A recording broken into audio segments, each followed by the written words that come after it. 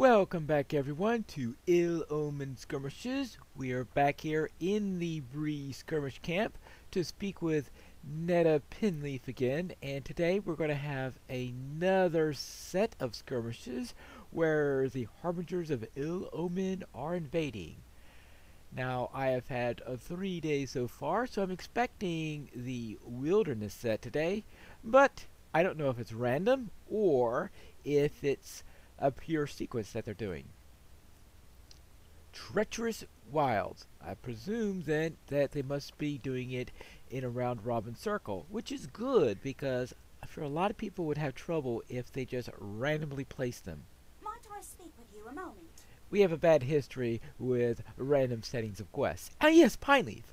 I've heard tell that the Harbingers of the Dead have spotted among the wilder lands of Middle-earth do what you can, and I'll handle the rest. yeah, I'm sure you will. And now that means Storm on Methedras, Ford of Bruinen, the Icy Crevasse, Attack at Dawn, and Barrow Downs. Now,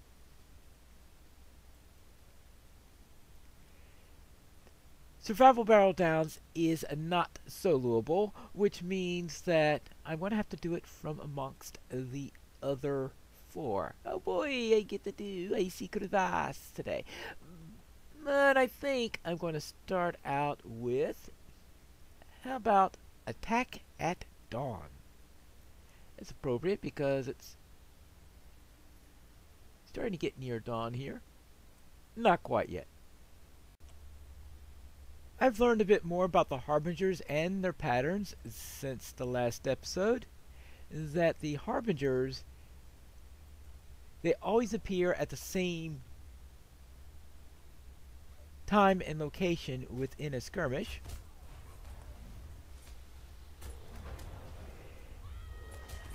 So that once you've done a skirmish with the Harbingers and they have appeared, then you'll know when to expect them the next time you do that particular skirmish during the event. The second one is that the Harbingers will appear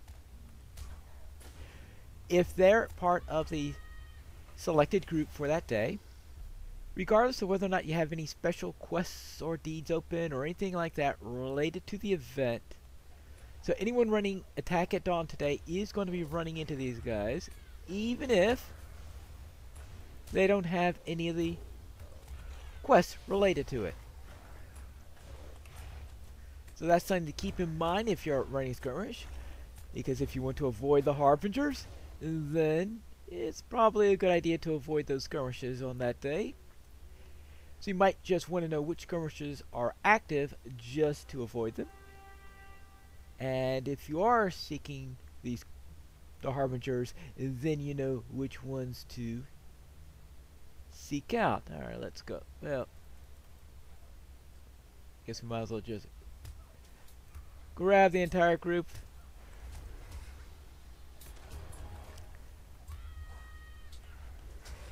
Oh boy, those goblins are doing all sorts of nasty things. Poor Flax there, shooting a bow right in the middle of all the, of this scrum that we have here.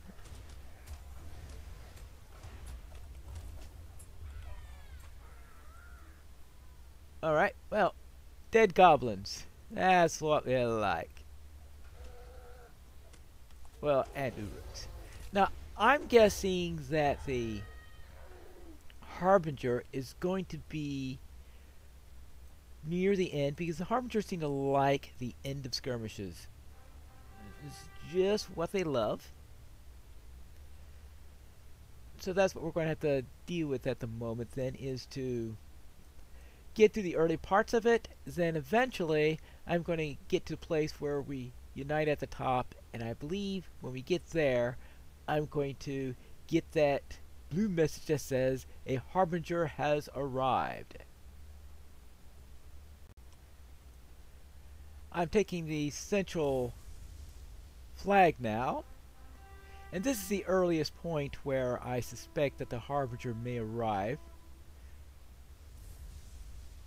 And we have to wait for these guys. But I've Actually, if it were going to arrive right now, I think I would have gotten the message already. Because they tend to arrive when you take control points.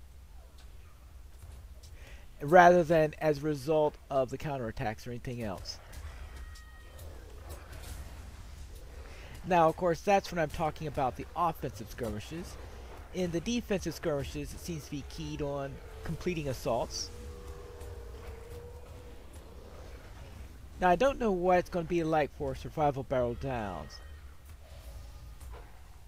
Because there, if it doesn't happen early, then there'll be a lot of groups who will never be able to complete this during that time. I'm going to have to do some sort of experiment on that. It's just that hmm, doing Survival Barrow Down solo on level is not exactly something that's well, good for your health. That's for sure. Of course, doing Survival Barrow Downs is at a time... Really? Survival Barrow Downs isn't exactly one that you're expected to get all the way through anyway. That's why I say get there early, because... First off, you really, if it came late, even if you managed to get through the entire hour, do you really want to run a one-hour skirmish for one little Harbinger mob? I don't think so. The Survival Barrow Downs is a challenge, and the entire point of it is getting to the challenge. And most of the other skirmishes is something designed to be on the quick side relatively compared to many other types of instances. So their points are completely different on that matter. So having a late Harbinger in Survival Barrow Downs, I think, would be hmm, very not fun, and it'll certainly make it the least run skirmish in this event if it came late. Now, if it came early, that would be fine. I'm thinking maybe he'll come in right at the five minute point. Oh, come on. Really? Setting up all that ambush and someone stuns me right all the way through it. Ah. Now, based on what I just said, that means the taking of... Oh. The taking of this flag is what I think is what's going to trigger how many things do I have in here that can stun you or disarm you or anything like that? All of them, it sounds like. Usually I do a better job at pulling these things. It's the day of the bad pull, I guess. Alright, there you go. Somebody's left. Why? There's somebody I didn't pull in that dreadful mess? Uh, somebody's missing. Yoo-hoo!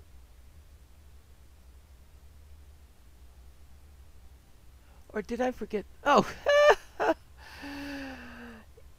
yeah! Doing everything out of order. Okay. Well, we could...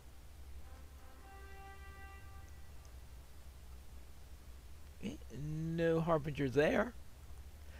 So taking this flag here then is going to be... This is one of the few skirmishes where you could accidentally take a flag out of order. That down. Good thing the Harbinger arrives after you destroy the catapults. It's really painful fighting in those catapults. And fighting a Harbinger in such conditions I'm sure would not be fun. Ah, okay, there's the Harbinger. Now the question is, where is the Harbinger? I'm glad that's not it. Now, oh, if he's inside the boss room, I'm not going to be happy. So my guess is that the Harbinger will be down in the courtyard. That would be an, a reasonable place to put him. Usually I find that Harbingers are forward. Oh, actually, I just found him.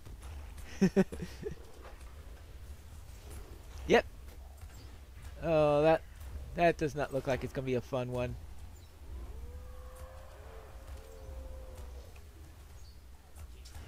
It looks like the wight.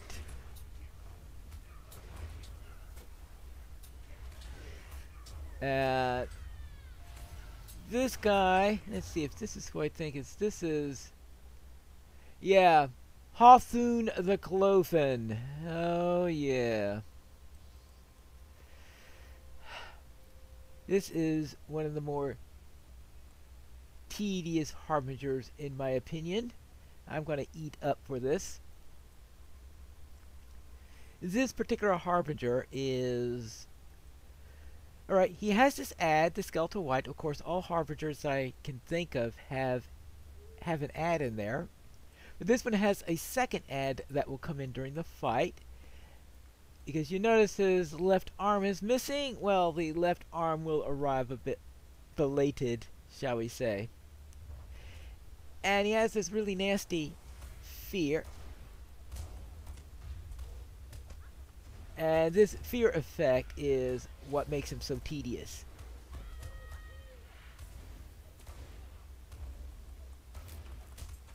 I, am not sure yet what triggers the arrival of the arm, but the ar arm will arrive at some point in all this. Ah, and speaking of arms, well, okay, the, the arm will fight Flax for now, and that's all well and good because if it's fighting Flax, it's not fighting me. So I'm sure that at some point,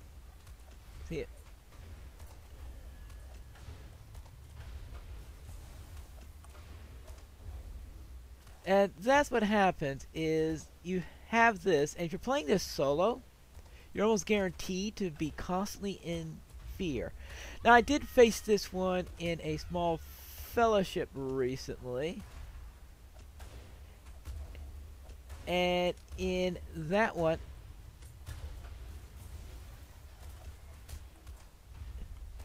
I didn't get feared all that often. I only got feared about two or three times. I guess because it was going between two or three of them or something like this. See, now this time, you see the arm was inducting, and so it was the arm that sent me running. So you've got these things, and oh, come on. Ah! So that's what happens. So if either of them gets that induction off,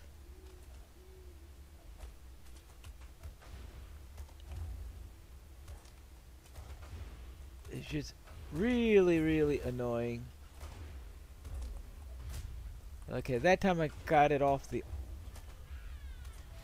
Uh, and that time I managed to get my boot off, but must have been on cooldown on being able to do an interrupt.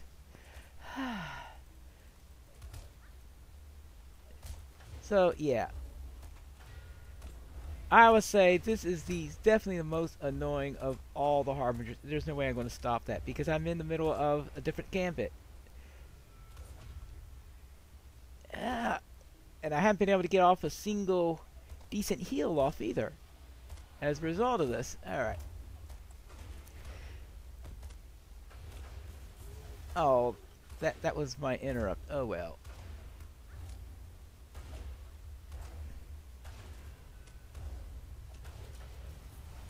He's resistant to being interrupted. That's bad.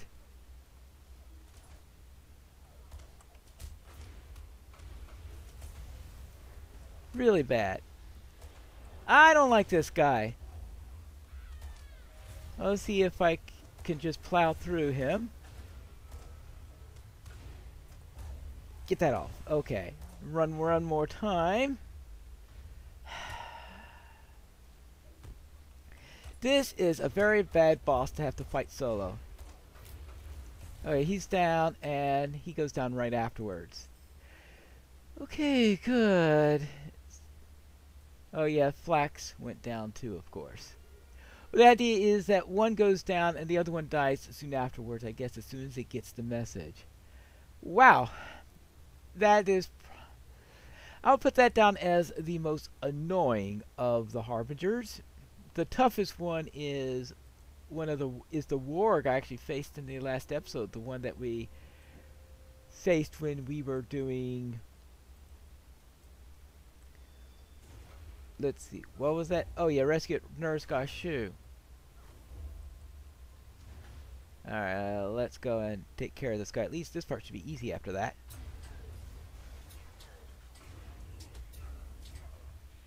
Uh, oh, you're, you're not going to... There you go. Oh, come on, stop that. Well, if I got no spear, at least I can kill the goblin. Ugh.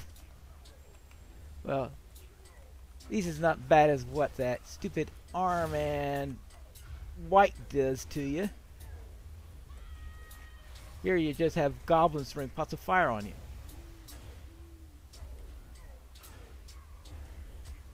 Well, he's going down, so I'm not going to worry about the goblin. Alright, good. Done. And we are out of here. This is the fourth day of the event, and I've got 30 of 50 tokens of ill omen. Now, I need 40 in order to get any of the items being bartered by Netta. And there is a cap of 50. Therefore, I am going to have to get something pretty quickly upon uh, getting past the 40 mark on there. Now, let's go for the next skirmish and see what kind of boss is there. And hopefully, when I come back in, it'll be just as we get a new Harbinger. And I hope it's not going to be anything nearly as annoying as the one we just fought. Here we are at Storm on Methedras at the second control point. This sounds like a good place to have a Harbinger. Of course, the other place it may have it... Well, okay, this is weird. I was afraid they might have it at the hut or something like that. Fortunately, that is not the case. Of course, the question is where that Harbinger is. Maybe behind us. I can't think of any convenient place where they could hide a Harbinger in front of us. So that may leave behind us as the most logical place to have it. even though most of them tend to have them in the back. Let's see. I don't see a harbinger anywhere in that direction.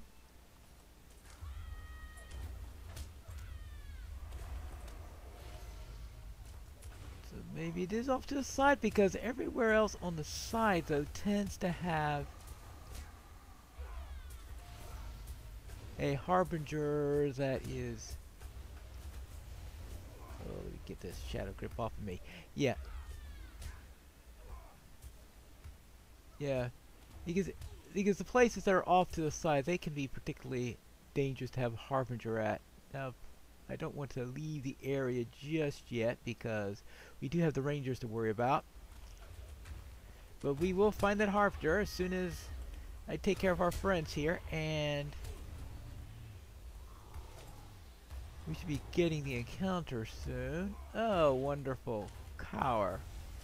Wonderful. A nice, annoying encounter. Though not nearly as annoying as that arm encounter with the wight. And there we are. I guess that sounded like the most likely place. Closest to Orthanc. It sounds like a perfect place for something like that. Lower-girth Deathwell. Ooh. It's a dark water spirit. Hmm. I haven't seen this one yet. Alright. And he's got a creeping arm with him. Oh, wonderful. I'm not too sure I like ones that have creeping arms in them. They remind me too much of the one that we just have. Yeah, get rid of creeping arms no matter what.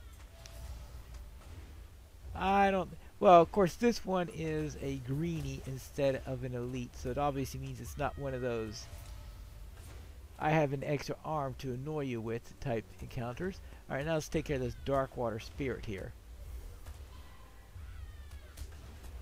Now I don't know what this thing likes to do to you, they all have some sort of shtick that gets to be an annoyance. I haven't seen one on this one yet. I'm sure it has something to do with this induction. Oh, well, okay. That's no more than the usual annoyance that you get with these things.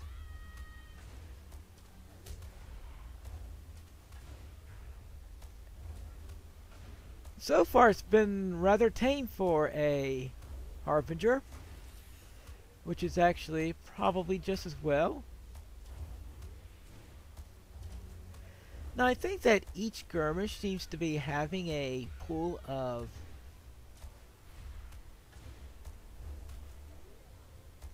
of harbingers that it has, so that there is though several skirmishes seem to share the same ones. I haven't got the full pattern yet. Just silver, which is typical. I have gotten loot boxes out of them, and I actually once got a token of for the last zone for the that you get for working with the Jaruka, the, which is rather weird considering that that character I think was something like out in Wilder questing in Wildermore at level, so what's a character out in Rohan getting tokens for dwarves? I've got no idea. But the point is, they can drop things other than silver, though nothing particularly impressive. Hey, this guy is more annoying than the Harbinger. Whee! Yeah. Having a tossing match with a beast. The third control point seems to be the most likely place in this skirmish for us to run to a Harbinger. Let's see if we could... Uh, yep. A Harbinger of the Dead has arrived. But where in this skirmish can you put a Harbinger without creating too many troubles? Hmm. They seem to like to choose locations that are the least likely to interfere with the counterattack and with other encounters, though I think in some skirmishes, such as the Sultan Ringwraith's Lair, they were a little bit off on their calculations. But this seems to be a place that, well, if it does interfere with it, at least it's unlikely to that you have to be standing right on top of it. Now, but this guy does, well, he has a shadow aura, but outside of that, I'm not...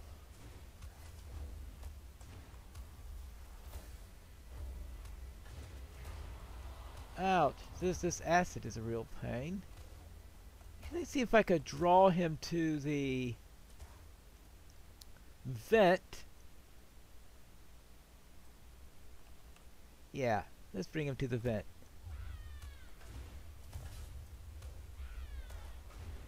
And hopefully this doesn't backfire on me because oh well, he he does like to have pools of acid going around. Since I'm healing mode right now, I better stand in the vent myself. There we go. And now into the damage area. Yay! How about that? Actually using the skirmish terrain to my advantage. That's a switch. But he is a tough one. But I think the only reason I'm getting through him down, him down this fast is because this is at maximum damage in Icy Crevasse. So a lot of damage is being done here. And he killed my soldier. How rude. Another two tokens. And another... However much money that was. 197 silver. Here in Ford of Bruinen, the Harbinger appeared at the end of the second assault.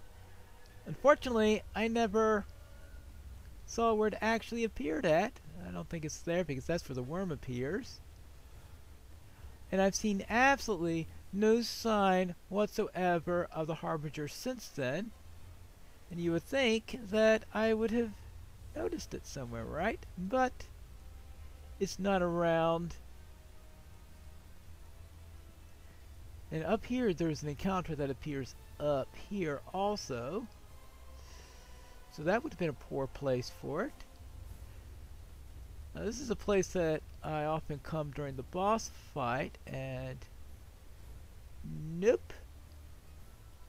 No sign there, and there's an encounter that sends you towards the archers. So that seems like an unlikely place. Where do they appear?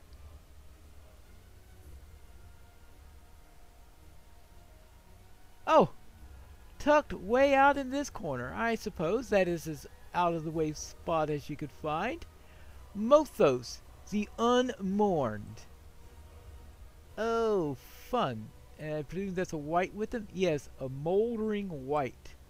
I wonder what this guy does. well, we are about to find out. But I'm fighting this one after the... I'm fighting this one after the skirmish is over. What that means is that I will get my two whatever those things are called those two points on the currency. Because you do get those. You also advance the quest so that that can finish up.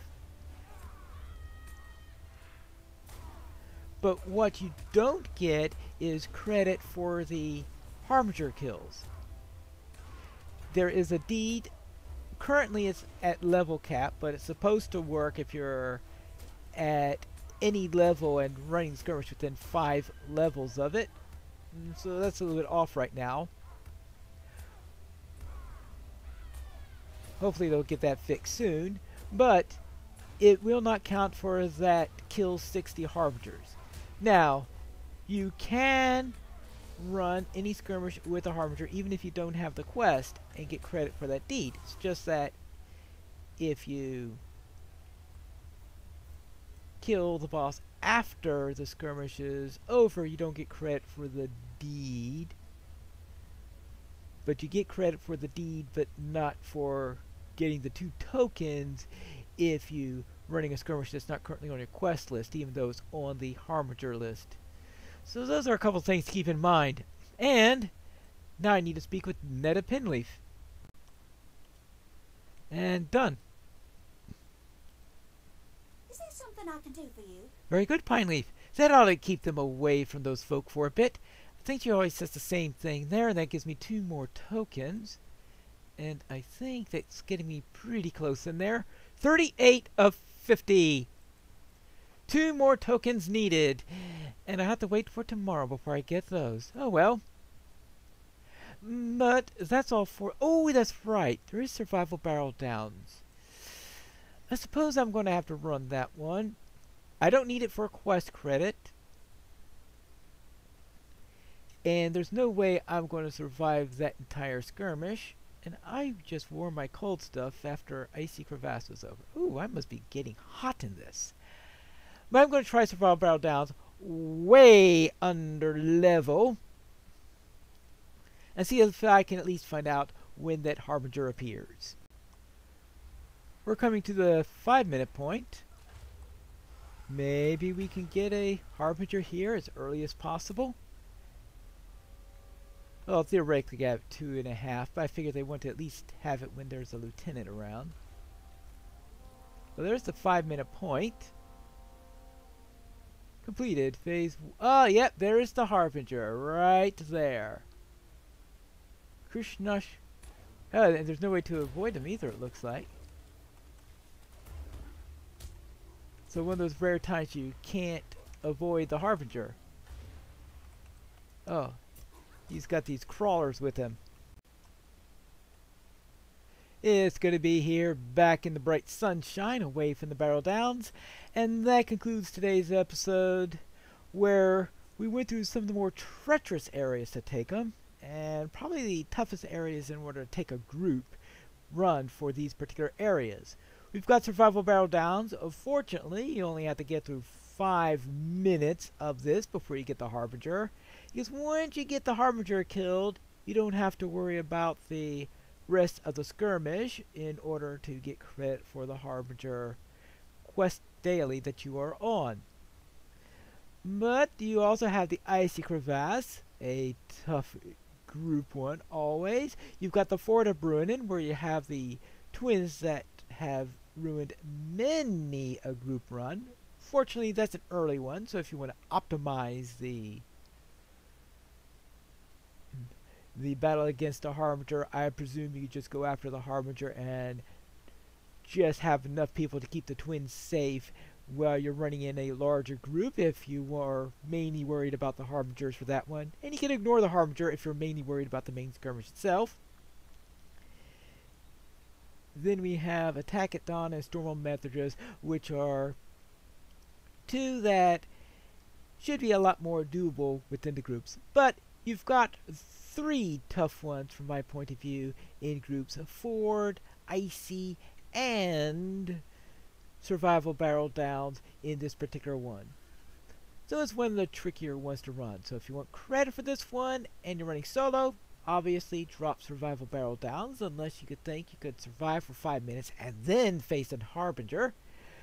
Or you can go in a group, maybe try survival and see if you could get through that one. And that way, if you have trouble with either Icy or with a Ford in getting through there, you'll be able to drop the one your group has more trouble with. But either way, it sounds like a little bit of a challenge that's up ahead in there. Now, while this of course summarizes it from my point of view of going through all four of them, I've not yet shown the other two areas, the ones in the strongholds or the ones that are in Mirkwood. I'm going to show you them later on there, and at least there I'll have a little bit more knowledge on what's going on because I would have done them already. But that's it for today's episode, and this is Pineleaf Needles reminding you to skirmish responsibly.